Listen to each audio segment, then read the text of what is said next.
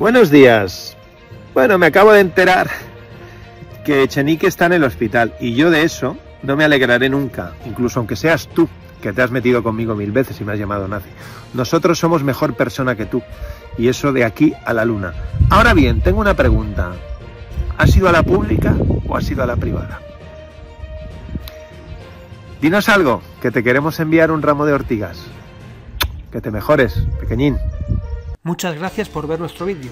Suscríbete, dale al like y no te olvides de darle a la campanita.